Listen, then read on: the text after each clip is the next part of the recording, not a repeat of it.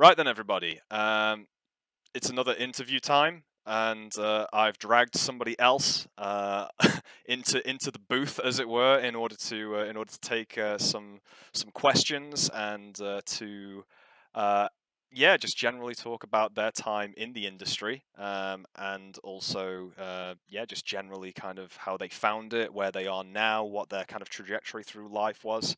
Um, so. Uh, I'm obviously not full frame here. We've got somebody else here that's full frame, and you might know him from the last interview we did as the as the little black and white head. Uh, but now he's here in full color. I'm not going to say in, in 60 frames a second. That's a lie. Um, but he's definitely here, and uh, yeah, would you like to introduce yourself to the the wonderful world? Hi, I'm Mike Woods. Um, I'm a lecturer. There you go. That'll do it. That's the kind of thing, yeah. Um, I should be more used to this, really. yeah, you do this a lot, Mike. Uh, a lot of this kind of like presentation stuff. But yeah, uh, Mike Woods. And I was just saying before we actually started this conversation off, um, and I thought I'd, I'd I'd actually iterate this point in the actual interview because it's it's kind of the the topic of conversation that I wanted to angle this towards.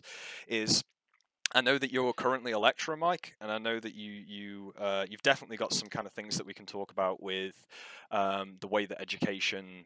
Um, I don't know, interesting things like how how education keeps up with the industry, um, and what changes you see in the industry, not in the industry necessarily, but in education, which kind of like are a knock-on effect from the industry and stuff like that. Especially things with maybe how students think and their mentalities and stuff like that. Um, but a good portion of what I actually want to angle this at is um, your early development days and when you were actually developing stuff uh, for the myriad of different companies and, and freelancing, as we kind of touched upon last time.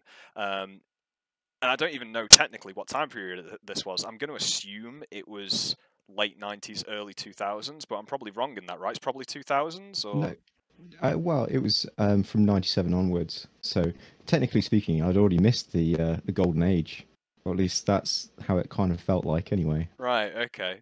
So, um, yeah, I guess it's just a very brief thing. Let's not necessarily go deep into the 90s development at the moment, but if you could, could you give people just a general overview of, let's say, from like, let's start with the basics actually. What actually got you into the things that you're kind of into, which have led into things like games design and um, you know, and I know personally from from your point, your artistry, traditional art, that kind of stuff, which then led to you having a position in the games industry. What was that early kind of uh, that early kind of thing that started it all off? Um, well, uh, it's I guess it's just a, a number, any number of different things. I mean, I had a not necessarily a traditional art background because I didn't I didn't actually take art at school. Um, uh, I, I was always around art, and I did I did do art in different capacities. Um, I, I went to a, uh, a Saturday morning session, which was basically like three hours of constant art Mm, for a, a number of different years throughout my teenage years because my parents basically acknowledged that I was interested in it, but I didn't take it as an academic subject, basically. Um, I, don't- I can't remember really what the reason was for that. Um, I think it had something to do with the uh, the art lecture, uh, art lecturer, the art teachers, um, and and wondering about what their interests were more than anything else, because we weren't. The, the trouble with GCSE art is that it didn't really interest me at, at that point, and certainly A level art was more interesting to me than that. Um, what they were doing at GCSE level, but Can you remember what um, it was about GCSE art that didn't necessarily um, like um, let you make you gravitate towards art or anything? it basically i mean i don't know whether it was the same for for everybody in that um we you got like two years and in those two years you got to try out a range of different things Hmm. so in the first year and second year of secondary school you kind of got to play around with different subjects and um and and that was that and then you had to make your big decision for your third year through till um, the fifth um and um basically what we did in those years was kind of like noddy nonsense basically uh, that's my opinion of it anyway uh, i it, it's one of those things where um, I don't I don't think I was particularly challenged uh, during those GCSE years in terms of art. I should have done more art, definitely, uh, but doing GCSE art would not have helped me in the slightest um, uh, overall. Um, I was I was already I don't know I, was, I'm going to say I'm a weird kid.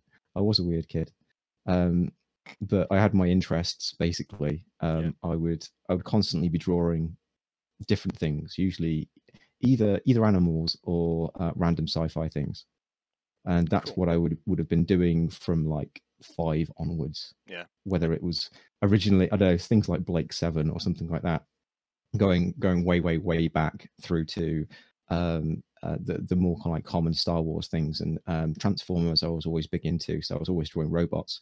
Yeah.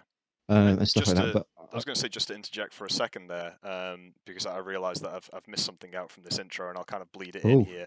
That uh, yeah, you were the floating head from uh, from the last session when we were interviewing Ol, but uh, funnily enough, Ol this time gets to be the floating head um, in this interview. So if there's yeah, uh, the, the yeah, artistic floating head, right? yeah, there. that's it. Um, so Wait, Ol from hello? before, yeah, yeah, there, there he is. Uh, Jesus, I thought you guys were like voices in my head for all this time. Sorry.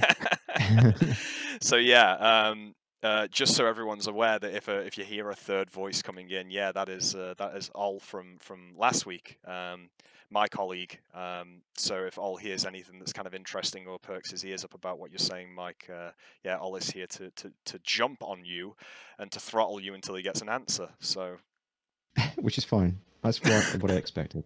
Prison has changed me. that's it. That's all Sorry. right. I'll, I'll be quiet for most of this, but yeah, glad to be here and uh, yeah.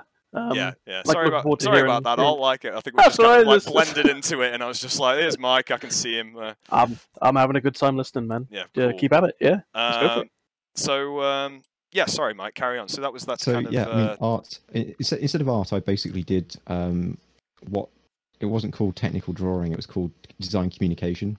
Mm. So it was it was a lot more um, to do with um, basically drawing orthographic views for things, and it was it, it's it was technical drawing. It's uh, it's naming conventions for courses. I don't know what it's called these days. Probably not called visual communication these days either. Um, but that's kind of what I did. So uh, it was it was even from an early kind of like age, I was basically doing orthographic views and 3D stuff with art rather than the the traditional kind of side of art. Um, really, sounds- So it sounds almost like left that behind. Yeah, I mean, it was it, it was objects in 3D space and and ultimately product design. So um, it it's 3D. That that was where kind of like my my interest started to move to straight away. I think it was more to do with the fact that my my dad, um, or I don't I don't my mum's always been soft on those kind of things, but my father would probably just went, well, there's no future in art. You you can do this, and it's far more practical. Uh, and ultimately, as well, um, I think that they had some level of aspiration for me because my my cousin was actually um, working for Land Rover at, at like 15. Mm. He was doing design for product product design for Land Rover around that era, um, at that age. Mm. So they kind of hoped that I would be doing the same thing. That didn't work out. you know, as with many things, they don't work out necessarily. Uh, but it's at least at least it's a basis. I mean, on on the flip side of that as well, I was obviously more far more interested in um, uh, computer games and specifically 3D orientated games as well. So, um, which is odd because obviously, um, if you're going to be playing a game in the 1980s, it probably wasn't 3D Mm. generally, but uh, there were a few that uh, were, were kind of like really interesting. It's that whole kind of like sense of depth, even if it was faked, was uh, was kind of where I, I was kind of interested in a lot more. I still like side scrollers and stuff like that, but um, I think that 3D was a big influence. oh, that, Uh, I don't really know necessarily know why, but I that's was going to say that's quite a bold out. statement when, when I come to think about it, because obviously I've known you for a very long time, Mike, and um, yeah, to say that 3D was a big influence on you uh, from an artistic point of view, that's quite interesting because it's it's it's yeah, that in itself is just because I guess that's that kind of like 80s kind of like technology kind of ramp up where you know you're seeing all of this stuff a little bit more like I, I don't want to say commercially, but you're seeing it more, right? And like the first computer to Yeah, be able yeah. to render a cube and all this kind of stuff. And yeah, it's interesting Well, that I mean, that had a the- knock-on effect. there was um, there was there was definitely it was a definite change and uh, i'm not going to say that you know obviously there was there were limitations technology and stuff like that but uh, we had some we started off on bbc micros i had an acorn electron at home and um, basically we uh, we moved on to Archimedes uh, computers, and they were they were not really 3D, but they they were capable of doing some 3D in like a faceted kind of shaded way. Hmm. Um, and that was kind of a, a bit of a, a mind blown situation, to be honest. So uh, when I was moving on to uh, education at undergraduate level, then everything was changing, literally everything. Mm. By that point, through the the early '90s, I mean, games consoles, uh, things like Star Fox and stuff like that, um, everything was kind of moving in in that direction, and it was good. It was getting good, at least acceptably interesting. You know, yeah. uh, with the, the Jaguar console as well was was pretty mind blowing at the time. Um, and and that was kind of interesting to me. And I mean, and I was still doing like orthographic projections and stuff like that of um, different products and rooms and stuff like that. So uh, that's just that was my my kind of progression in art generally. Yeah, I was going to say that's Um, that kind of like early, early conceptualization of Mike as an artist, I guess, in those those early yeah, I days. mean, uh, I- but I was like I say, I was still doing other things. I mean, even um, my brother had a Commodore six, a Commodore sixty four, and um, they had some. Sorry, but uh, I'm totally into the Commodore 64. floor.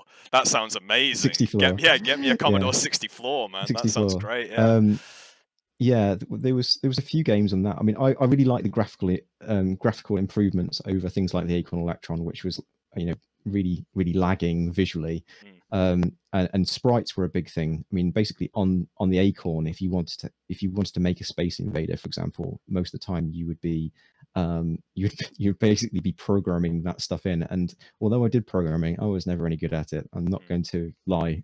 Um, uh, you know, to make myself look good in that respect. I was never really a programmer.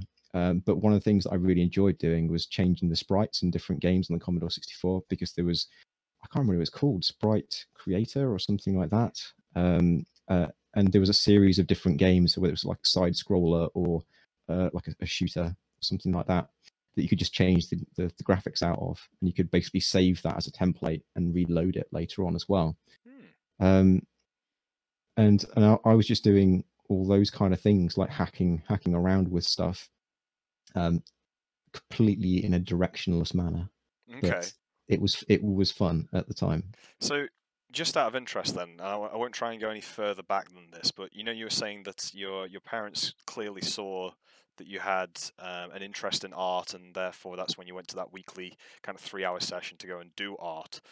Can you remember the thing which preceded that? That thing of like, oh, Mike's really into art, but what was that thing that your parents saw? What were the what were the things that you were doing? Was it just drawing, or can you remember why you were drawing, or was it just Yeah, I mean- Transformers and cartoons? And, it kind would of have been a lot of different things my my mum was most happy with me when i was drawing animals and stuff like that because obviously when i was drawing robots that's a bit weird um, okay. uh, they they just kind of acknowledged that, uh, and I think that I mean, looking back, I think that I think my parents have still got some some of the drawings that I would have done. I mean, I used to like copy pictures and um, illustrations from books and stuff like that.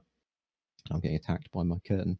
Okay. Um, yeah. Um, basically, that that's kind of thing that I would have been doing, and they they they obviously knew that I was I was capable of, of doing that um, more than anything. So they.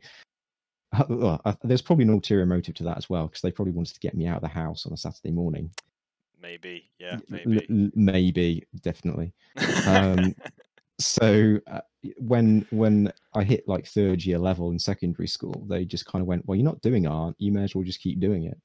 Hmm. Um, in in in this way, just to keep your your kind of eye in, and that's usually that's the phrase that my dad would use a lot of. Just keep your eye in, Just keep keep an um, eye because- in there. I like yeah. that. Yeah. Because it's not it's it's not the same. Uh, you know, technical drawing is was was fun, uh, and doing doing a little bit of rendering and stuff like that with watercolors and markers and things like that was was fun. But it, it it's not art necessarily. It's not quite the same. It's not it's not got that kind of like messiness to it. It's very precise. Yeah. And I am a bit kind of uh, schizophrenic in in the way that I, I draw things and do things that I can be very precise one moment and be a complete mess another. It's interesting Um, that you bring and- that up though about that whole technical aspect not necessarily being art because that kind of mimics some problems that um, that I don't know if we will talk about them, but some some problems that um, that can be seen in some people these days that are learning the new the, the new There's- learning processes and stuff. But we'll get into that in a little yeah while. it's definitely it's definitely a different headspace and Yeah. it's definitely a different um, mindset that i find that probably other people don't necessarily always have. So it's a little bit like artists and programmers they're like oil and water generally they don't mix. Hmm. um, and some people just kind of like have that weird headspace where they can pretty much do both. But even the difference between doing something like 3d versus doing 2d illustration is quite big. Mm, and yeah. i think that's that's probably worth noting generally So that's Um, kind of like where you where you kind of like got your artistic early chops. Let's say that's where you kind of like um, started to to develop your, I guess even develop your eye at a very early age to just be able to to you know sit down and, and draw for hours. Where I guess a lot of kids or some kids maybe can't sit still for two minutes. You know what I mean? And are running around and all that kind of stuff. I'm saying you didn't have that. yeah, but I can't. No, I can't. I, I can remember there was there was a very. I don't know why we were doing that. Did a lot of things when I was in primary school. I don't really know why I was doing them.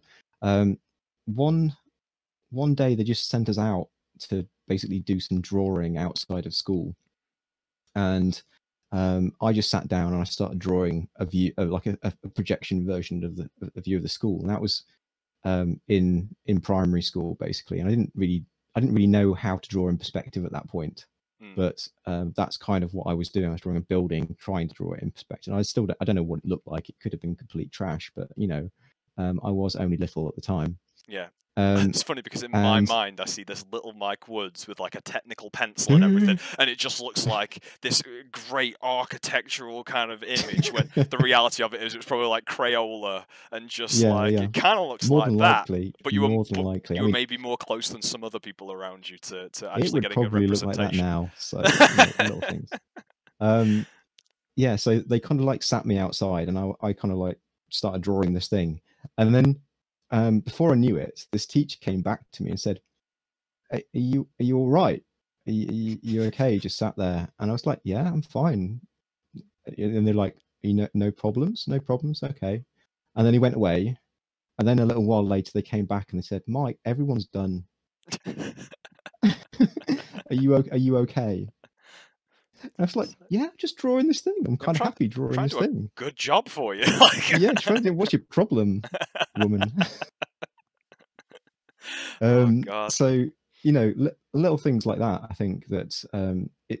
it- I suppose there's, those little moments really kind of like tell you that yeah, you've you've got you've got something. Might have been OCD, Yeah. could have been a mental disorder, but um, ultimately it was something that probably my my obsession probably helps out to some degree.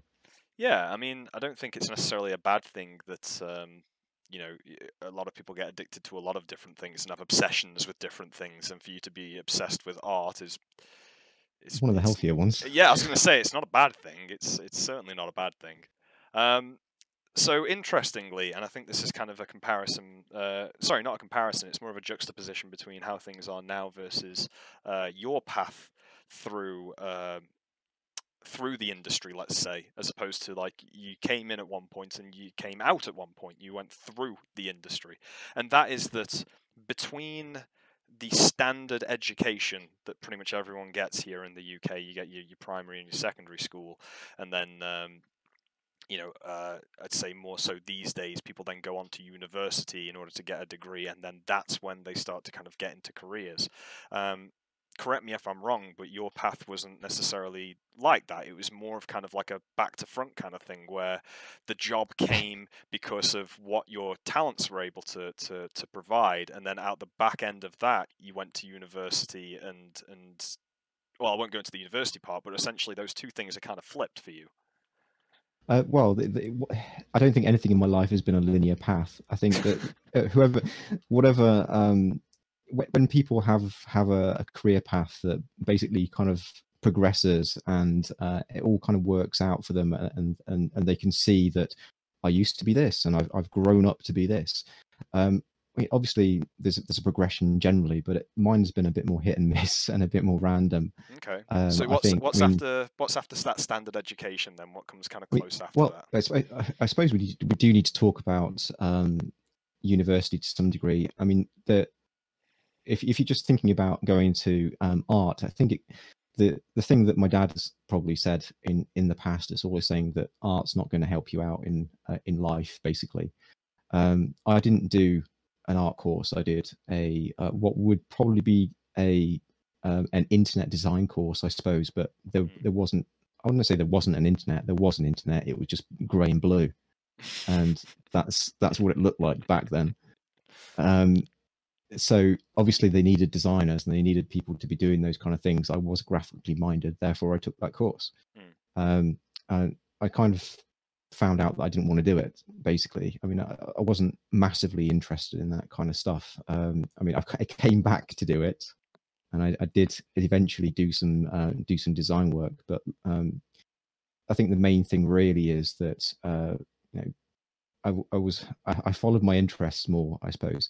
So we didn't really learn everything that I needed. I suppose I, I, I didn't come out of university being a game artist, Mm. and it's not like today in that in that regard. And in some ways, I think that's that's quite telling. I don't think there are.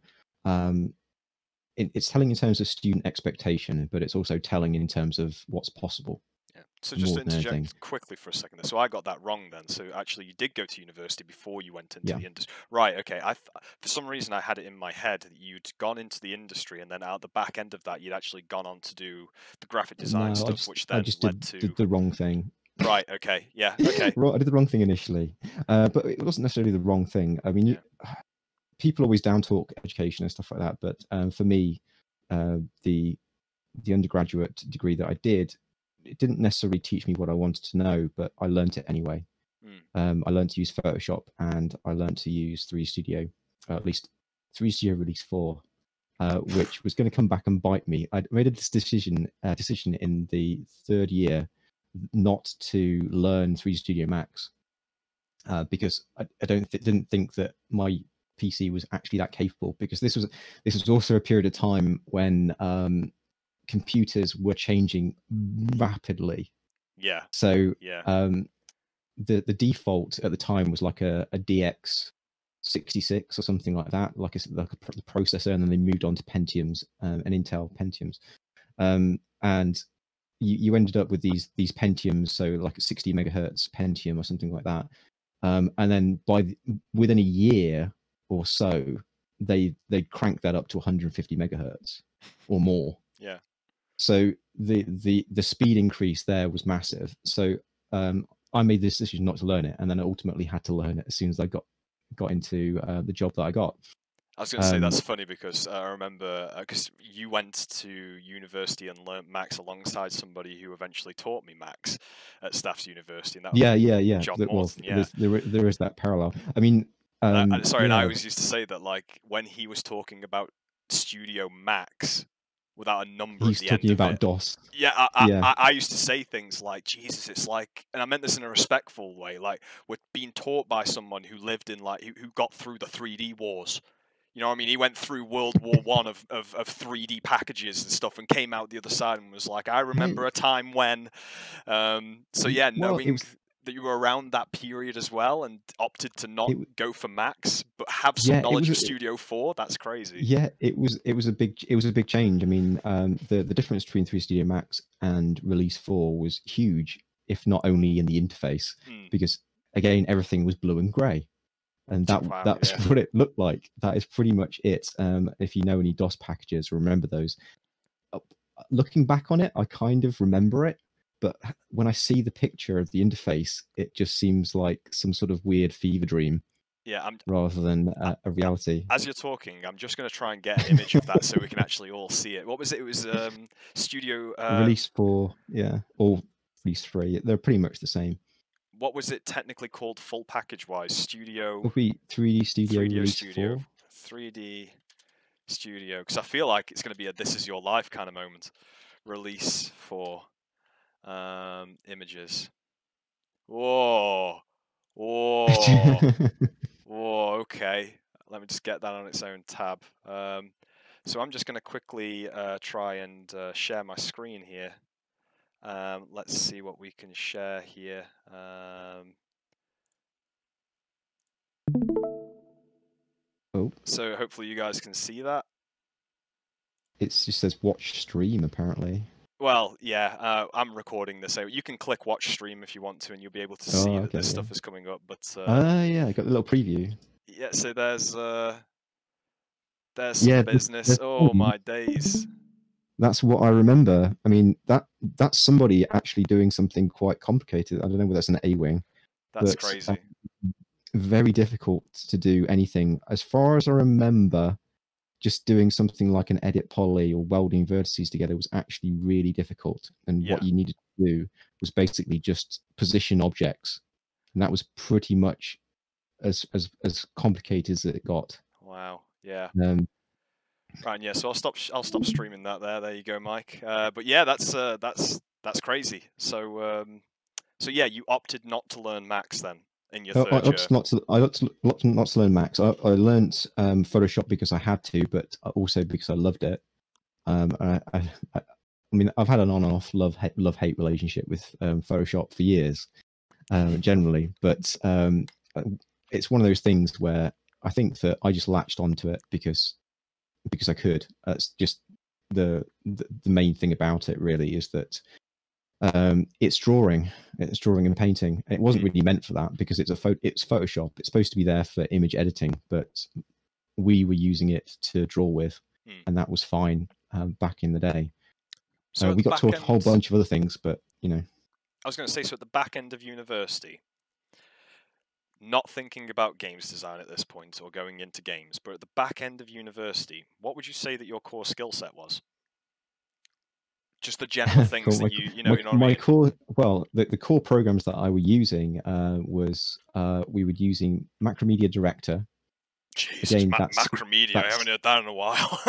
macromedia director um, and that was that was mostly scripting for packages and stuff like that Yep. so i've already already acknowledged that i'm not a programmer so you can tell you can tell how well that went um, generally um, photoshop and uh, 3d studio and those are the things that i, I kind of knew um, overall there was there was a whole bunch of things that we learned we learned a bit of office and stuff like that as well um, and a few other different packages which weren't super relevant um, overall. We, we were still scripting in uh, in Notepad for HTML and stuff like that. Wow. So yeah, there was there, there was none of n- none of the complication there. It was all kind of like just write it in Notepad. no, It'll be uh, fine. no, no kind of, uh, no kind of nice kind of text editors or anything like that. N- No, no, well, not that we like knew of just- anyway. I just remember writing a lot of stuff in Notepad and, and learning uh, the, the markup language off by heart, and I couldn't, I wouldn't be able to remember it now, but um, that's what we used to do. Yeah. Um, uh, and yeah, I mean, it's it was, I would say that it was probably enough. We we the other thing that you have to remember as well is that I wasn't I wasn't taught 3D Studio. I, I learned that myself. Mm. So um, that's something that I did on my own. Uh, Photoshop we did get taught, but I ended up doing a lot more on my own as well. Okay. So uh, again, this is this is probably a situation where sometimes following your own interests will pay off. Mhm. Sometimes, I saw a post on LinkedIn today that literally said something like, um, "God, I'm going to butcher it," but it was it was very much the idea of like, um, keep working hard because you might not be able to see it, but you're working towards something. Like keep doing what Yeah. you're doing. Essentially, you might not be able to see that goal yet. You might not be able to see that door that's about to open, but if you stop, then you start walking away from that door entirely. Um, I mean, it's it's it's one of those things. that, Uh, obviously, you've got to be careful about. I don't know, being unrealistic about things, but yeah, I mean, if you if you know that you're inter- into into something, um, you just need to make sure that you, that there is an out at the end of it. It's not just you're going to spend X amount of time fiddling around and not getting anywhere. Basically, Are you trying to tell me that Ol is not going to be the president of the United States? I, I don't know. Is he is he American? No. But if he works hard enough at might it, if he he might- works hard enough at being American. Well, yeah, maybe. I mean, I mean, not to timestamp this, but I think a lot of other people could probably make a better situation than that. What's currently going on now? Not to bring politics into this, but I mean, my goodness. I mean, you could you could open a lot of governance up to tender, and I think that might be a good thing to be honest. Right, But, yeah. you know, I've little you, things. if this was a political show, this this this thing would be going on for about six hours. So yeah, let's maybe not try and uh, not try and go down. Yeah, that sure. route. Sorry. I do Um, actually, um, I do actually have a question, if that's all right. Yeah, go for Um, it, man. Sweet. Um, talking about uh, software and such, um, I have a, a short story about um, back when I was at um, sixth form.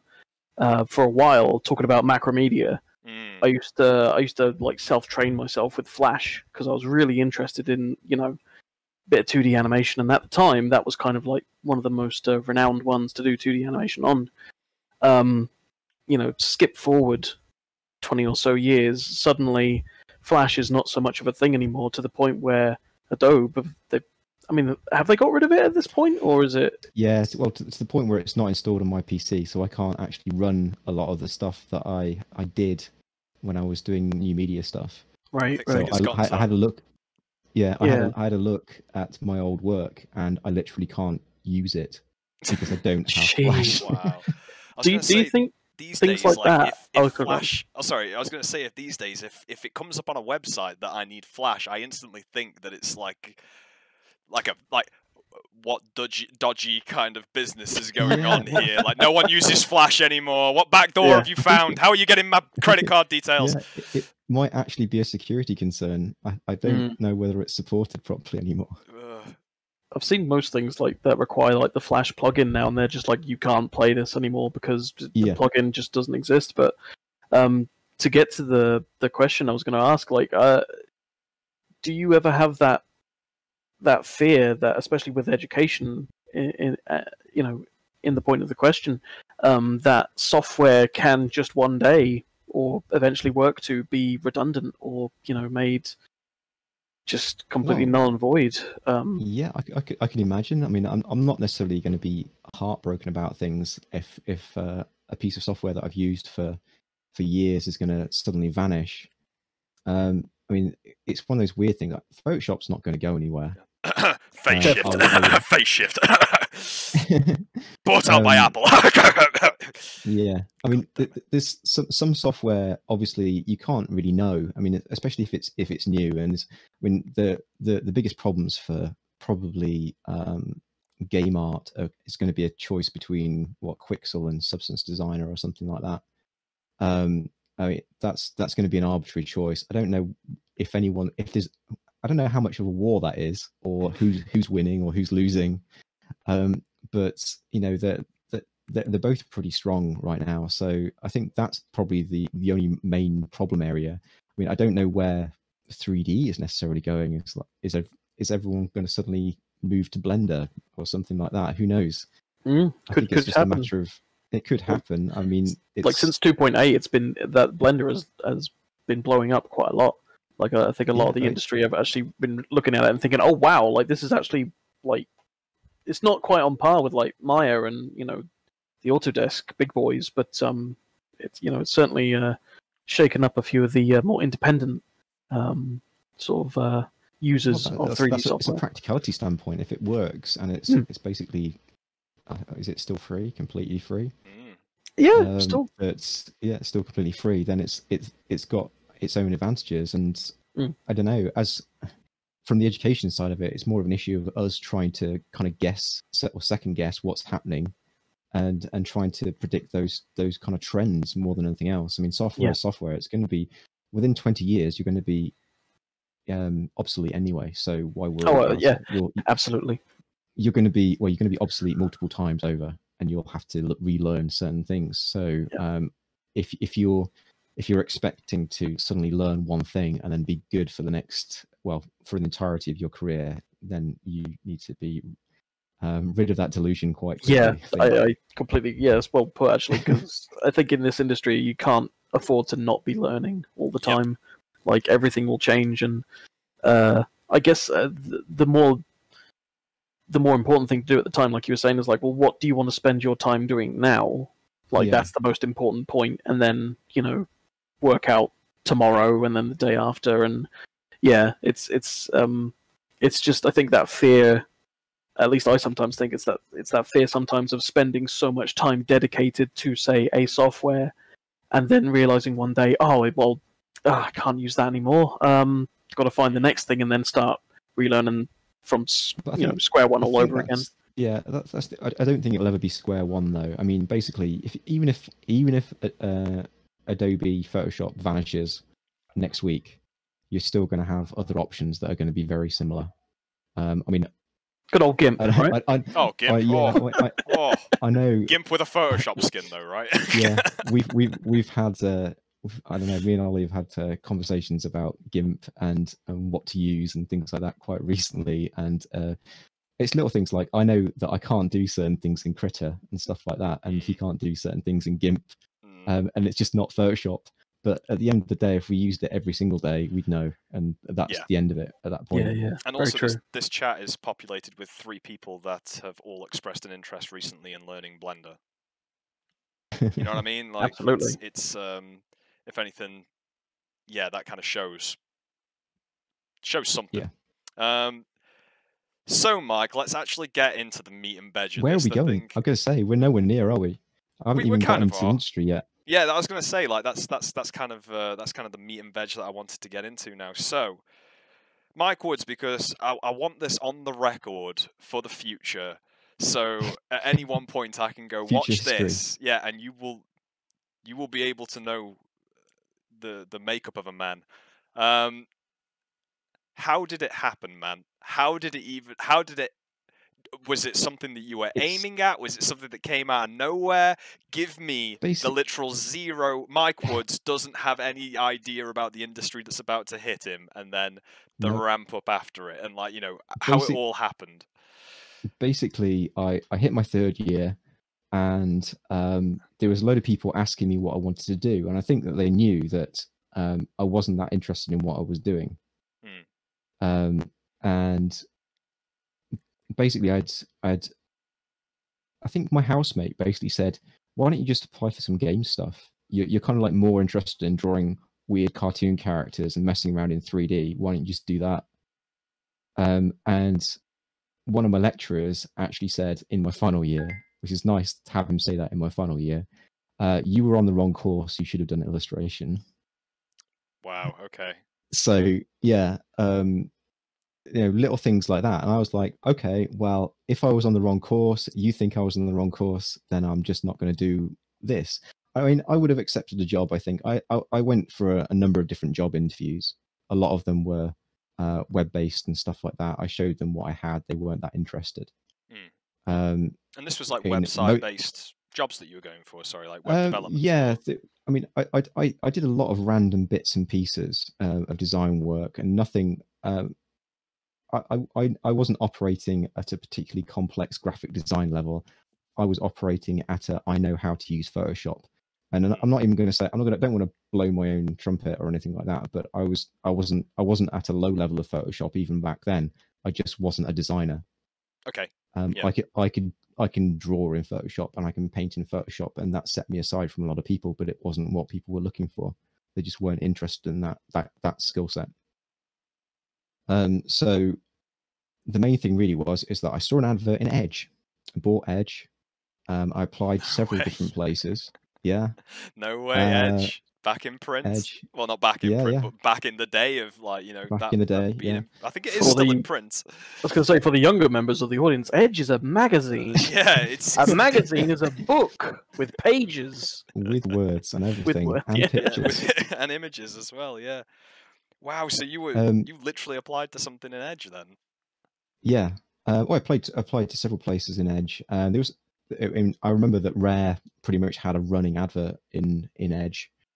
Um, uh, overall, uh, and there, was, there were a number of different places. I think different magazines that you could do that. I mean, there, there- there's a, there's a, I think was it was it Develop, or other other magazines as well that um, don't exist anymore. Basically, um, that you could find games jobs in that you didn't have to go through recruitment agencies like you probably do now. I think that's probably been more formalized overall. I don't know whether anybody even advertises anymore in the same way. I mean, I don't I don't want to say that nobody reads anymore, but I don't think that uh, there's a magazine that you could read about the games industry these days. I think more so these days, and correct, and correct me if anybody thinks I'm wrong here, but more so these days, I think people are looking for those jobs in the pool, which is the internet, right? the internet is Yeah, the well, big if- job if- if- board, and you can go if you- anywhere. and, yeah if you if you go to uh you know the, the, the any any different website for recruitment um you're going to find a wider range than i would have found in edge back in 1997 Of course, yeah. um of and course. and they will be um worldwide not just local in uk as well Yeah. so the advantages of the modern era are that you've got more opportunity to some Yeah. degree so, Um, so you're but I flipping think through Edge. and I, and I found this find these these jobs and one of them was for a company called Smart Dog, and it had an interesting little character logo, and I was like, these guys look cool. I'm going to apply to these guys, and and that was that was pretty much it. Um, I went to the the uh, the interview, and um, I obviously got interviewed by the art director at the time, and um, did- was there a turned- position that you went for, or was it just like come and work uh, for was- Smart I think Dog? it's like three D three D artist or something like that. I, I think maybe. Um, and yeah, they. I found out that I had had uh, not necessarily I had a lot of things in common with the art director, um, but also over the the turn the, the, the kind of years that I've been at university, I'd actually been playing a lot of games that um, not only he was interested in, but also games that had been produced in Leamington, which is where I ended up. Mm. So did- there was a, there was a, a number of different studios in Leamington Spa, um, and they were all putting out um, different games. One of the big ones was something called Big Red Racing, and we, as a household, because we set up our own network uh, way back in the day, uh, we, we used to play Big Red Racing after getting drunk at the Union, and it was probably some of the most fun as a, as a gaming experience you can possibly have Yeah. um, because it it was uh, it was just it was just cartoon racing, um, and there was a number of things that you could do to really screw up your opponents, which was um, what what made it really fun because uh, it was a bit random. It was that there was no guarantee that you would win, basically. Yeah. Uh, so little things like that is that when you find out that oh, um, you know these guys down the road made this, and they'd be really happy to talk to you about that in the pub because we'd see them in the pub as well later on. So you, would see the developers um, in the pub. well, yeah, everybody. Uh, not necessarily for the on, in my interview, but uh, once you were once I was there, everybody kind of knew each other. Sorry, I thought you were talking about when you were at yeah. university. You used to get drunk. No. uh, That like, oh, No. there's Well- Smart Dog well, right there.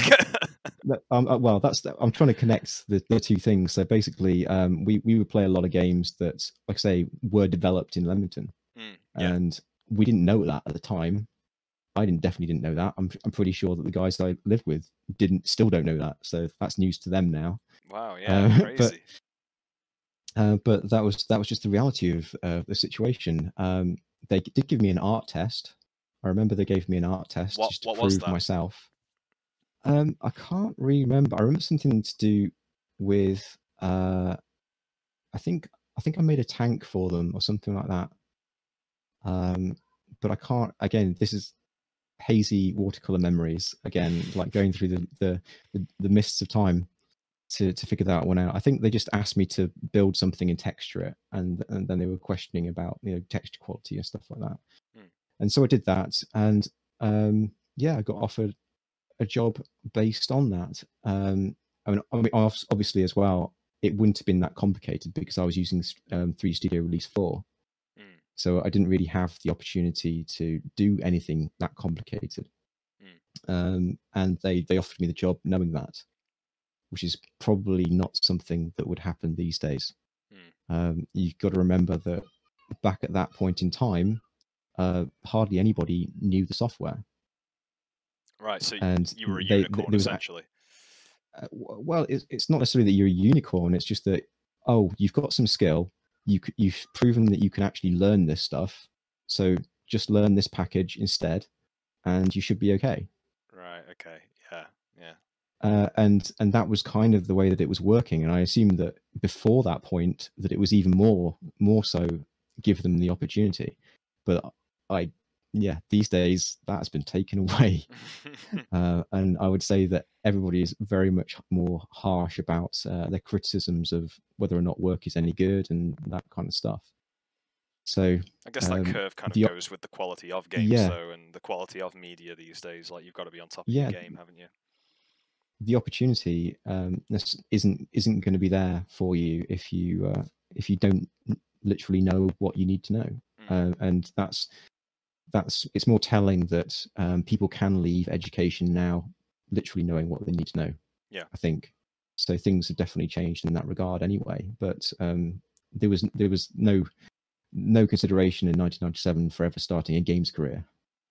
At least I don't I don't know I don't course, know don't know any university that would have been doing games development in quite that way, especially from the art side. They might have been doing programming. So what was um so you started off as uh, could we argue if we had to put a title on it now it would be something like a 3D generalist is that kind of what you would say your title Um, was or were you- very very much so i i would be i mean the volume of work would vary but obviously environment if you were making an environment then that's that was still always going to be the more more work Mm, um, generally. Um, obviously character work was hard but it, it's not anywhere near as hard as it is these days I was gonna, this is what I wanted to Um, kind of get into like so you weren't necessarily pigeonholed to be a character artist back then or a vehicle artist or an environment artist. You you were a, a 3D generalist and you did whatever needed to come over whatever came Yeah, over your desk that's what you needed to make. Pretty much and that was the, that was the same for it was true of anybody in the studio as well. So all the art team i mean we, we had a 2d specialist who was doing UD, ui stuff um uh, d- several different people that ended up doing uh, ui stuff. But if you were on the 3d art side you'd be making characters you'd be making cars we, we made environments we made uh, uh, tennis courts and stuff like that as well as large scale large scale environments. So you pretty much did everything. Mm. it didn't really matter what the subject was, which is again entirely different from what it is now. Yeah, and I was going to say, me and Ollie coming from a, a you know a company currently where we're where our staff numbers are in the hundreds. Uh, what was the staff makeup of uh, Smart Dog then when you walked in the, the front door? I think it was it was um, it was difficult to say because we started off we started off on one floor and we ended up taking two floors and we were segregated programmers and artists uh, in the end. Then we had some reception staff, but I, it's got to be. I think I added it all, all up once upon once upon a time. I don't, can't remember whether it was around about thirty people or less. I It's thought you were I- I going to say like seventy to eighty then, not in, thirty. in in the end i think i think it was i think it was a surprise because there was there was at least like um there was at least 10 people for per floor so there's at least 20 people and then we we also had uh had our bosses our like our, our big bosses Mm, um and then reception staff and a few other people um and at different times of uh, smart dog's life as well that there were there were other people that joined us um I, and I, if they were management i never really knew who they what they were up to so right, okay. it's uh it, it's just one of those things um it's going to be under 30 people but it's got to be over 20 Okay.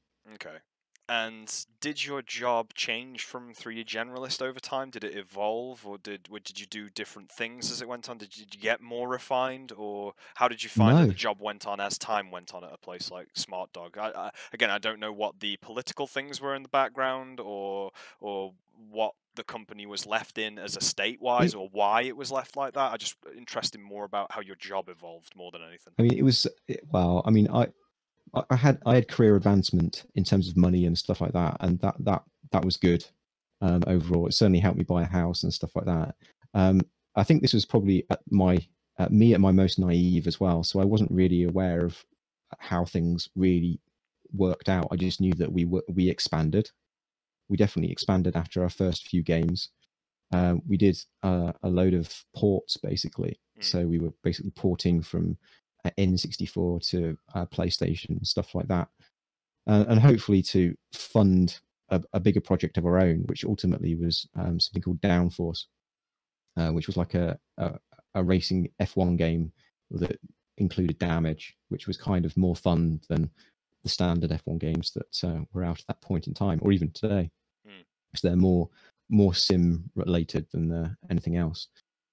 Um, but yeah, we we started off relatively small and we got bigger, and that's probably as about as much as my knowledge of that that period of time is.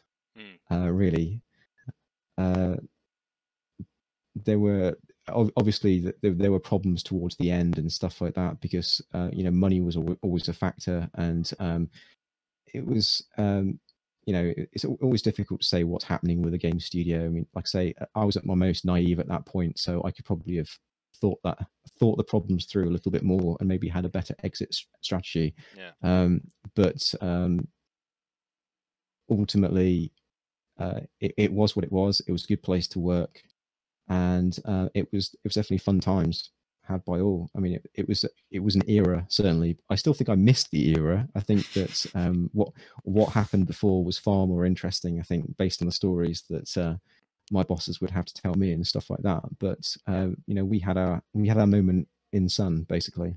So what? Uh, just before we move away from Smart Dog, then, and you know, the kind of the end of that, and moving on to the next things in you know your, your career. Um, what are some of the games that Mike Woods can be attributed to? Um, th- th- there are there are a, a few different. I don't know whether my name even comes up on on those kind of things, but uh, we worked on a, a range of different uh, titles. I mean, uh, my bosses, uh, they they were coming off the back of something called Breakpoint. I think that's something that they made for um, Codemasters at that point. So the first games that they were making were tennis tennis games, and they they made something called Tennis Arena, which was kind of like a tennis game mixed with Street Fighter, which was fun and they they kind of wanted to um, do something a little bit more with that, um, and uh, we ended up making uh, Tennis All Stars '99 uh, for for different consoles. Uh, we like to say we did a load of ports such as uh, uh, Roadsters for Titus. Uh, we, we we made a port for something a game called Ubik, which was uh, from PC and um, ultimately a game called 360, which was not necessarily well received, uh, but it was a, like a racing game uh, of our own, and ultimately Downforce, which I think I still think was probably the uh, I, I I don't necessarily know what was going on behind the scenes, but um, and ultimately Downforce could have gone somewhere. Was If we'd made a Downforce the sequel- downfall?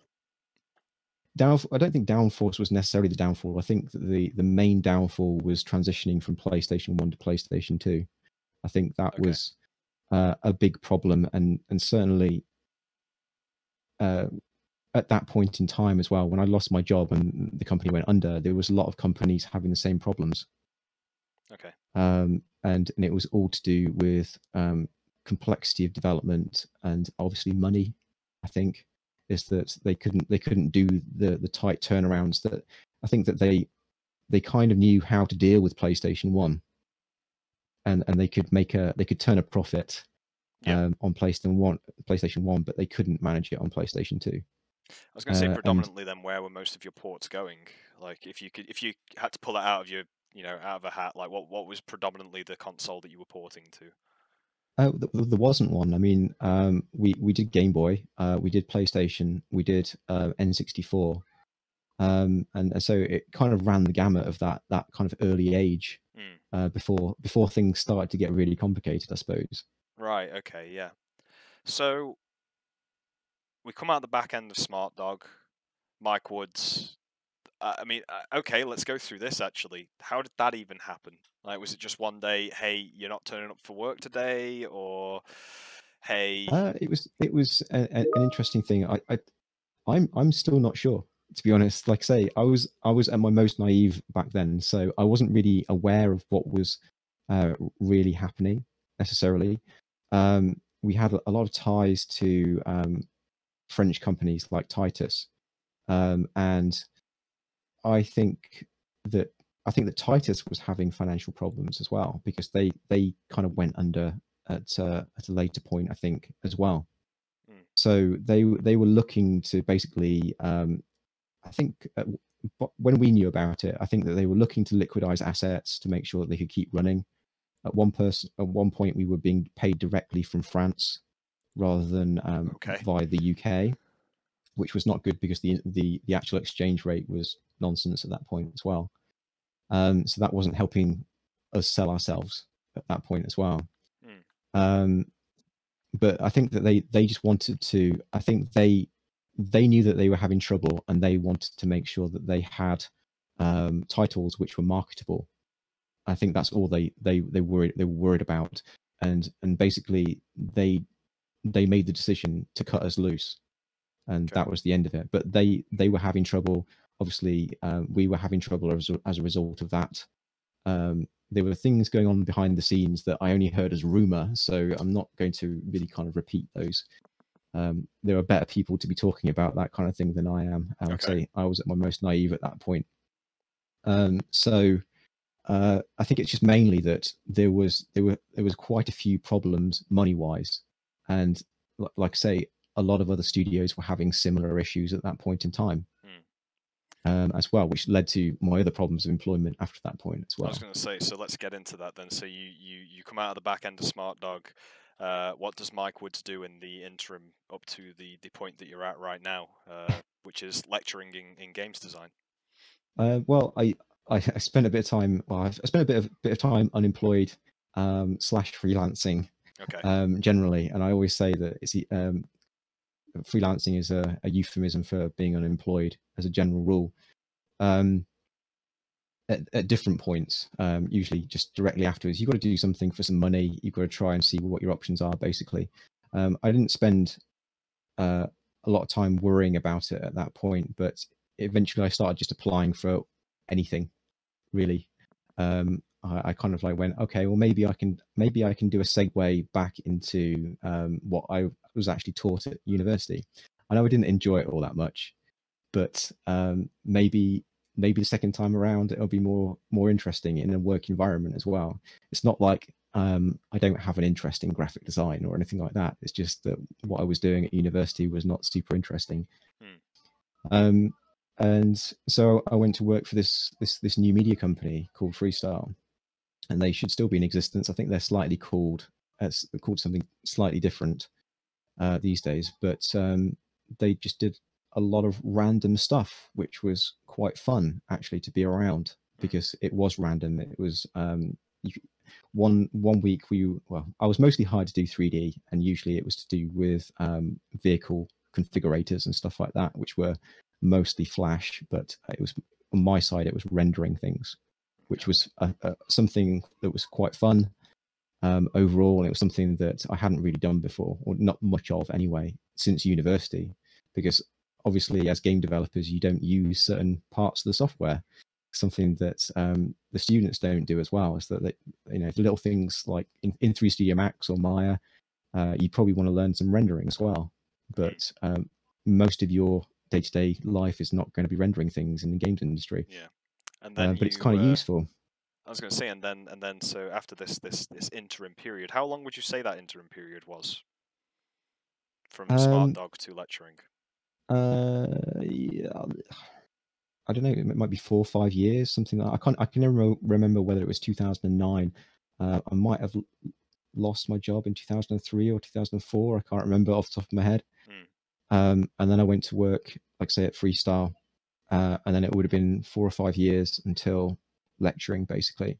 Okay. And what Um, kind of got you transitioned from, say, uh, working at Freestyle into lecturing? Was there another another kind of like, oh, you know, I've been let go, or is there s- is this a I need a change of pace? yeah, I mean, or there was there was there was a lot of rumblings behind that. Um, the again, I, I assume that um, from Freestyle's point of view, uh, we we did a lot of pitch work, but we didn't get a lot of return on that pitch work, and so um, supporting the staff that they had was not going to be working out. That's it's a hard life um, doing doing the web stuff and doing design stuff. It's the constant pitching, and it's not just that. It's probably like a service as well. So you're you're, you're trying to pitch a service rather than just a website or a design piece, uh, and you've got to win those clients. And if you don't win those clients, you've got no money, basically. yeah, right, yeah, okay. So then, Uh, um, yeah, so you transition then out of freestyle and you get into I did a bit of, bit of free. Oh, bit of bit- well, freelance I did a bit of middle there. freelance, yeah, in the middle there. Um, I actually worked for Freestyle longer than I was actually working there, purely because I was doing freelance for them, Okay, which didn't really make sense, make that much sense to me at that point in time. But at least they gave me some money, so you know that was that was fine. that's I good. guess. Yeah. Um. So yeah, so uh, Smart Dog, freestyle, freelancing technically with freestyle, Yeah, and, and some other other projects potentially. other bits and bobs. Yeah, And Random, then it was actually quite it was quite interesting because I, I could have probably if I'd stuck with it, I could probably have gone gone freelance completely. is that Um, I was I was kind of at a tipping point of deciding what to do because I was getting money. I, I wasn't making a lot of money, but I was making enough money to live on. Which was and I was getting my name out there, which is not something I've ever had before. was it stressful? Um, it wasn't stressful. It, it was probably the opposite of stressful. Um, I mean, I think my my mother often says it about me. It's like you and your father are just the same. You don't care when you've got money. You don't care when you don't have money. Um, so I, it's not. It wasn't a stressful experience. I mean, usually the, the worst part of doing freelance stuff is waiting, and that's not stressful. Waiting's not stressful. Obviously, not having the money is is an issue when you don't have the money. Literally, you can't Mm. feed yourself and that kind of stuff. But I wasn't hitting that point. Yeah. I was just kind of subsisting. But the the interesting thing about that is that the more work you do, the more kind of like widely known you become in those circles, Mm. and eventually you get people coming back to you and saying, "Do you want to do this?" And that's that was kind of the position almost that I was in. I think I could see it. I okay. could see it happening. So what stopped that, and what uh, made you kind of go for a position in education then? Um, basically, I mean, it wasn't it wasn't something that I planned for certainly. So it wasn't my idea. Mm. You can, you may notice that outside influences forced me into different roles rather than uh, my my my overarching evil maniacal plan. Right. Yeah. Um, but uh, one of my um, university friends who who hadn't left Staffs University, he'd uh, he'd basically stayed on as um, IT services basically, and he'd been there since since 1997 when we all graduated. He basically said, "Mike, there's a job role. You you're perfect for it. You should go for that." Uh, and so I applied, and I didn't expect to be taken seriously, to be honest. I mean, this is it. this is my my attitude generally is I never never expect to be taken seriously, and it's always nice to suddenly be taken seriously. And incidentally, the um, year that you got that position was the year that I started Staffordshire University. I know. Um, well, th- there you go. That's the, the the best year of my life. The convergence, where it all came together. Um, yeah, where everything everything came together. Yeah. So I don't necessarily want to jump too much into Staffs University as a thing because I kind of want to keep this as as as game development um, oriented as possible, but um, without necessarily talking too much about lecturing per se. Um, what are the things that you, if I were to give you a soapbox for a moment, Mike, and say, Dangerous. uh, dangerous. right, yeah. If I were to give you a soapbox for a moment and say, you know, you've seen the industry in the 90s, you hear me talk all the time about things that are, you know, that are going on or things that I'm doing or th- or my opinions of kind of how the industry moves. And I've been in the same position that you've been as well. I've, I've also been a lecturer, but I've uh, as I say, you've gone from Smart Dog to transitioning into a lecturer, and I went from a lecturer to transitioning into the industry. So arguably, we've got the bookends there of either side of this thing in the middle, which is which is lecturing, and then either side of development. But if I were to give you a soapbox right now to just kind of say, you know, what are your kind of thoughts about um, not so much the educational system, but more so, I guess, about the people that go through it and their their maybe their expectations or how they treat uh, games courses in relation to how we know the industry is now, um, or how, how they how they treat the the information, or how they treat, say, the software that they want to use versus what they should be learning. I know we've had a couple of discussions about this, but I, I don't want to necessarily direct you. I just want to hear kind of like what your thoughts about all of this are. And this isn't slamming education. This is more just a general kind of you have a, a broad wealth of knowledge of knowing these bookends and knowing you know how I talk and my opinions and you know your opinions from back then and how things have changed and the trajectory more so than I do. So yeah, what what are your opinions on just education in, in that kind of sense? Well, I suppose um, expectation is key more than anything else. Um, I came into undergraduate education with literally no expectation whatsoever and no plan as to what I was going to do necessarily. Um, I just had this um, this idea that I mean, again, I, maybe I should have taken industrial design and then I would have ended up like my cousin. But it's it, it's it's very difficult to say. I mean, I, my education experience was very atypical in that I basically did what I wanted and I got a job that I wanted, Hmm. which probably wouldn't happen these days Hmm. um, um, overall. And uh, like like I say, I didn't have any expectations about where I was going, whereas most students these days have very specific expectations. Um, and there are some uh, problems with that in terms of uh, what their expectations are and what they actually manage to achieve over that period of time, because the the industry itself is not very forgiving, uh, and they I think that students very quickly uh, see that um, I don't know if if they're if they're not going to make it, then they're they're very unhappy very quickly, um, and managing a lot of the time it's not necessarily about making sure that um, there there is what is effectively an exit velocity for a student into straight into industry. It's more about teaching them what they need to know based on their current needs, Hmm. uh, and that's that's quite a difficult one to manage um, uh, overall. Is that um,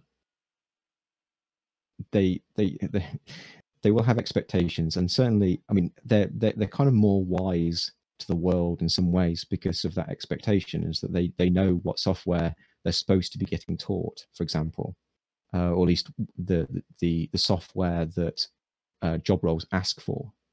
Now, um, as we've we've had a conversation about software um, previously, and basically saying you probably don't want to worry about software necessarily.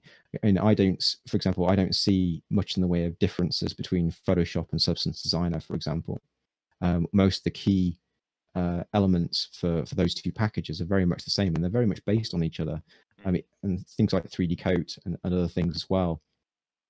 Layers are pretty much default.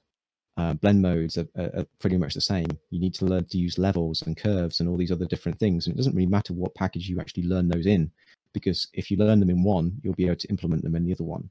I just want to back you up Um, with this as well, Mike, because we've had this discussion prior. And I mean, again, I can actually relate this to a situation which has been very, very close uh, to, to, you know, to this time frame, which is uh, me and Ol going in and starting to learn Blender from our own respective kind of disciplines. Now, Ol knows, uh, you know, a lot of traditional animation stuff inside of Maya, keyframe animation, curve editing, stuff like that. And the majority of that first session that we both had sitting down was figuring out where that stuff is so we could animate. You know what I mean? All of those fundamentals are still there. It's just finding where that stuff is to animate. Myself as well, coming from a technical perspective, I don't, you know, I learned Python. If I walk into Blender, okay, I've just got to look at the API, but by the end of a 20 minute session, I've got a full list of all the objects in the scene with their translations, their rotations, uh, their visibilities, and I'm getting all of this kind of information out from Blender. I just wanted to back you up on that point because you know if I if I I think I've said this before, but if if we hired somebody for say like a mocap position and they had this constant win button that they downloaded from somewhere which does everything that they want to, which is essentially to some degree the tools that I kind of write these days. It all it is those kind of pipeline tools that speed everybody up. But the second that one of my tools, you know, fails for whatever reason because of an update or because of this or because of that, if somebody can't do something by hand, then that's worrying for me. That's that is a big worry. Um, I mean, a motion capture example would be just to characterize a skeleton. Like, sure, we have a lot of things that do that for you, and it'll just, you know, all of that stuff that you'd normally do by hand can be done lickety schlick, one button, there it is, it's out the back end, you get ready to, to do your solving or whatever. But if I have to say to somebody like, hey, um, I'm working on this particular tool at the moment because we've had an update to MotionBuilder or whatever, and the tool doesn't work. I need that person to be able to do this stuff by hand just in case. And again, maybe uh, when we look at it from an artistic point of view with like Photoshop and Substance and stuff like that, I don't know because I'm not on that part of the of the pipeline, right? I'm not on that part of the artistic, you know, side of of of of um, of like say tools creation or stuff like that. I can only imagine that some studios have had situations where they're like, "Oh, we can't actually use Substance for this thing that we want to do." Like everything else in the game, like yeah, fine, we want to do it for all of this stuff, but like this particular aspect of this thing, it's stylized in a certain way, it's got a certain feel or a certain look. All of a sudden, everything that you've been leaning on to kind of get you where you're trying to go is all moot. It doesn't make any sense to use it anymore. And then all of a sudden, to me at least, you kind of wish that you'd learnt about light and shadow. You kind of wish that you'd learnt about hue and saturation. You kind of wish that you'd learnt about this stuff. Because, as you said just, Mike, right? You're constantly going out of date, right? You're constantly having to try and fight this battle to, to constantly be up to date the one thing that I could argue that hasn't gone out of date, and this is in every principle that I've seen, is the fundamentals. Like a keyframe, an interpolation type, a way that you ease in and ease out. If there's a tool that helps you to do that, fine, cool, speeds you up a little bit. But to not know what the fundamentals are of the button that you're pressing is a scary thing to me. It is a really scary thing. So that's my soapbox put moment over. I just wanted to back you up on that because I, I truly do believe that. Well, it's it, it is just one of those things. I mean, ultimately, um, I've I've kind of built up a lot of knowledge, uh, and and there there are a lot of problems that um, that we see from students, and certainly that we have, just in terms of trying to teach people in three years what they need to know, Mm. um, because we don't have any guarantee about what they've learned at college, for example. I mean, I, I started my career off working in- in 60, 60 uh, 64 by 64 textures ish Mm. um, in 16 colors. And I'm, I'm, I'm used to basically working in a palette and, and stuff like that and, and, and basically different bit depths as well. Yeah. I mean, these are basic things that um, I think we take for granted a lot of the time. Um, and and certainly they make a big difference depending on which software that you're using, Mm. uh, images or um, or making adjustments, especially something like Substance Designer or Photoshop. Um, and they have knock-on effects to UE4 as well, depending on if you want to use height maps and things like that. There's, there's there's a whole raft of issues, but it's a lot of a lot of those kind of like core principles. I'm I'm pretty sure that most students don't even know what an 8-bit register is, and therefore they don't even know what 8-bit images are. Uh, and, and and and things like that. Um, they they just know which which thing they need to. Well, they don't even necessarily know which thing to use at which point in time. Um, but it, it's kind of the, the, it- there's always a bit of a tension between how much underlying stuff do you teach and how much specific stuff do you teach. Yeah. And and as a general rule, most students will surface learn to get to an end result, and I suppose that um, in some ways that's perfectly fine. I don't. It just depends on on how much you need to know as a, a junior artist, I suppose, and th- that's probably one of our biggest problems. It doesn't matter whether it's a, junior artist or a junior animator or a junior programmer or whatever. Is that that's the question you need to ask? It's like what's okay for them not to know, Mm. um, and um, if you know more of the un- the underside of things, you will start to see um, patterns in in in other software eh, sort of uh, solutions, I suppose. Yeah. you'll start to understand why why you need to do certain things and um, start to see that there's a there's there's a a kind of a, a rule set that keeps cropping up a lot of the time even if it's like terminology it's like this word keeps cropping up what why do why do they keep using that word Mhm, mhm. and it's like oh well that just means we're, go- we're gonna have to do this and if you can understand i mean sort basic things like um, how to um, split objects up with um, smoothing groups and uvs and stuff like that and project things properly. If you don't understand what projection is and it's it's quite a difficult uh, thing to get your head around for somebody who's not done that kind of thing before and certainly it gets more complex over Yeah. the over three years What does that mean for the Um, person that uses a projection button inside of Substance? Right? Yeah, yeah. It's like, oh, I, I, I, I mean, there's this stuff in um, in ZBrush like UV, U, AUV tiles or whatever like that, like just projection for itself. And uh, uh, obviously, Substance Painter has got its own uh, triplanar projection, and even UE4 has got its own triplanar projection these days. Um, so why would you ever want to just map things? Mm, Um, I think, I think there's the the, the the the sheer scope of what could be done under the heading of game development is probably huge. I mean, I like I say I got taught nothing pretty much. I got taught Photoshop. That's fine. I, I'll, I will, I will admit that I, I took that away from university, um, and it didn't hinder me whatsoever. If I went away, left university with those skills now, I wouldn't, I wouldn't be doing games development. I don't suppose. Okay, yeah. uh, and I think that's the difference um, uh, overall. But I think that students um, probably need to accept that there is complexity there that they probably don't see uh, past. I need to be I need to be getting taught Max and Maya, or I need to be getting taught Substance Designer, or I need to be getting taught X, Y, or Z, because that could change next year, and we'll all be using Blender. Right, yeah. So I guess Uh, as a and uh, go on, yeah. yeah well i'm just going to say that that's that's the kind of like core underlying problem and you, you've got to think about what you can take into other areas uh, more because I, I took what i knew and that was enough but it's a very small amount in comparison to what is required these days Yeah. uh, a very small amount and it's not about software it's about all the underlying experience that you need um, So, just to kind of wrap up here, because we're we're coming to the top of the hour, and I think it's a it's a it's a it's a nice time to kind of like wrap it up there. We've kind of gone through a lot of different topics and a lot of different things there, and I think we've done a, a nice kind of spread. As I say, more so over your game development and your early history, getting into that.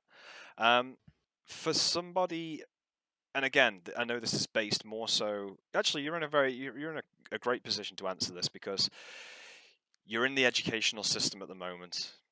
You are you are kicking out folks, not literally kicking them out. I meant like kicking them out the back end, so you know they can go off into the real world and stuff like that. they are an Uh, output into the world yeah Yeah, and and as I say, you do speak to me uh, quite a lot, and you you know you've spoken to Ollie. Uh, there's other people in the industry that you know who are currently like running that stuff.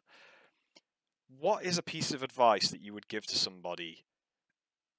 I guess either pre-university or is currently sitting in university, thinking like, I'm going to be the next whatever. I'm going to be I'm going to be a great character artist one day and has that self-affirmation for themselves. Like I'm not looking for you to cut a man down, Mike, but I'm looking for I'm looking for looking for Mike Woods good old age kind of like I'm going to give you a piece of advice and this is one that you can take to the bank kind of thing. Well i suppose it's, th- the main thing really is that um, you should you should follow your passions uh, to a degree is that if there's if there's something that you want to know to get you to a certain place then you you just just learn it.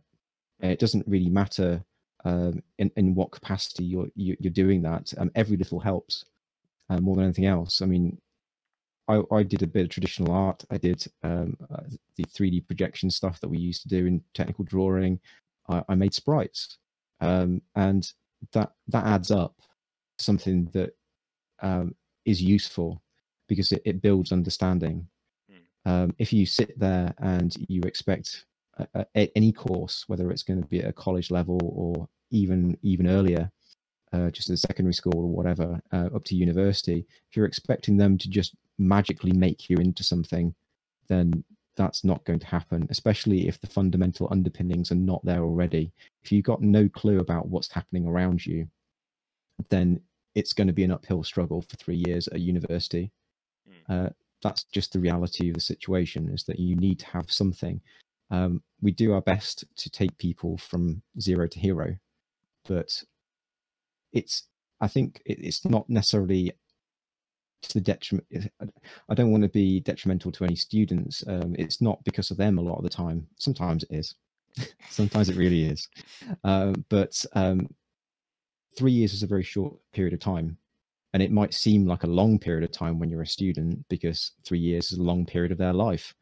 Um, but it's not a long period of time to to learn about games development in any capacity. Um, it doesn't it doesn't matter what field that you choose. It's always going to be complicated. And if you've got the the weight of information behind you, you're going to have a much easier time of it um, overall. Yeah. And that's the best thing. That's the best thing you can do is that just make sure that if you know you want to be somewhere, and you want and and I don't know the world, especially the internet. If the internet is is telling you that you need to learn to sculpt or um, use substance or whatever, then learn it. Yeah. Uh, anything, even if you sit in class and and think, oh well, I know all this, that's great. It means that it's just a reaffirmation that you're on the right track because sooner or later something's going to be said that you have no clue about whatsoever. And if you can build that understanding based on your previous knowledge, then you're okay. But yeah, if you start not knowing things, then it's very unlikely that you're ever going to know those things. I was going to say, I think At that least, kind of at least in the time frame. I think that kind of Yeah. summarizes down to that kind of idea of it's better to be caught out by one thing than ten things at once, right? Yeah, ex- exactly. I mean, there's there's something to th- to to the whole kind of like throwing yourself in on the deep end, but you know, some people drown, right? that's that's all that's all it is. Yeah. yeah. Um, it's it's always nice to hear a success story, but um, anything that you can do to mitigate, uh, well, improve your your your chances, uh, you should be doing. Yeah. Uh, it doesn't it doesn't matter whether you're you're listening to this video as uh, I don't know primary school don't know whether- yeah. whether it's are- not really your target audience, um, secondary school or I have no target you know, audience, college or wherever. Yeah, it doesn't matter what year, you know, how old you are or whatever. Just just do what you need to do. Just Yeah. find out what you need to do and and have a go at it. Uh, it doesn't need to be even the best thing in the world as an output. Just have a go at it. Beautiful. Look at that. That is a uh... Mike. If you say another word, I think you'll ruin it. That was that was Yeah, most uh, likely. that was It's- that it's was a gonna go beautiful downhill send from off there. Yeah. So um, I'm not sure if we've uh, still got all. I know we've just gone past the hour, and I He's, know he's, you he's, had some- he's- Oh, I, I can't yeah, hear him whether yeah. he's, There's all. whether he's asleep. I have something. been politely muted and listening all this time. oh, very very nice, very nice. Uh, did you enjoy Mike Woods' story there? Of uh, Very nice and beautifully put as well. So Yeah. Well Um, is is there anything that you would like to uh, to ask Mike before I let him get on his merry way, or are you uh, are you are you happy to hold your peace? all, all, all good here. I think I think everything that you you went over is pretty much nodding and you know Awesome, awesome. throwing Well, some gestures up. So yeah, I thought Yeah. I thought we were going to plumb some depths, and I was a bit worried to be honest. About, there's, there's some things that um, I can't even remember what happened. Well, we 20 got about- years ago. we got about forty five minutes in, and it was at that point that you were Yeah. like, so I got I got into drawing, and I was like, oh god. Um, God, yeah. do you ever got- do we've- art, Mike? What's yeah, the we- weirdest thing you've drawn? Have you drawn a penis before? don't answer them. You don't have to worry about that. you think that's getting cut, but it isn't. Um, Oh, no. Oh no! Um, there he so, was. yeah. He unmuted himself, and it all went downhill. yeah. this is why I've been muted all this time. Yeah. um, so yeah, I'd just like to say thank you to, to both of you for your time, just to spend the time to, to both listen and to retell some old stories. Um, I'm sure if anything kind of comes back up, which um, which could be Smart Dog related, as you were talking about Smart Dog then and talking about all the games, I thought it would be really interesting for us at some point to uh, acquire a copy of some of these games that you've got your name to and play them in I- I- front of you. I've got I've got copies of a lot of games actually. Um, I don't know where necessarily they are. If you if you've got a console that will actually play them, that's well, the we question. can we can definitely figure that. Stuff We can out. make that happen. Yeah, definitely. Yeah. Did you do the tennis racket, Mike? Did you do the person with the ball? Did you do the net? It's going Oh, to be like man. a critique. What you made this? Oh, Yeah. God, what are you thinking? what and you doing? graded me. Like, Yeah, oh, you graded me. Oh God. No, I thought I thought that'd be quite fun. A bit of a blast for the past for you. I think that would be interesting. Um, so yeah. Um, thank you very much, Mike, for uh, for joining us for the for the for the power hour and for for getting all of that stuff out. Again, I have it on record now, so you, I will always use your words against you. Um, Yep. and uh, thank you all for for joining us here and uh, Oh, you know thank- lending thanks an for ear having me. yeah and having Yeah, having yeah. some input. It's been an Um, absolute delight. Uh, Kojima's next week, right? Yeah, yeah, you'll, yeah. Somebody I'll- far more oh, interesting. okay. I've sent Get him that the email. son of a gun in, in here right now. I've sent him the email. He'll he he, he won't reply. Um, but yeah, um, yeah. So just thank you again for taking the time. Thank you all. Um, and yeah, you've been listening to the smooth sounds of Mike Woods. Um, Mike, you got? I'll, I'll put you on the spot. Got anything you want to promote, Mike? Got any? Got a YouTube channel there? Got a Twitter feed? Got a Mike Mike bit of Woods merch. homemovies.com. Uh, what what was the Oh. what was your movie mo- Mike Woods movie movie blog? blog. That's it. Mike Mike Woods Moves- movie Wood blog. Does anybody have blogs these days? I mean, I don't know. Um, no, I'm I'm an island of me, and that is it. Closed borders. Find me nowhere. Yeah. Oh right then, guys. Well, yeah. Yet again, thank you very much, and uh, it's been a pleasure to sit with you both. No, Thank you very been much. pleasure. Yeah. See you later, guys. Goodbye.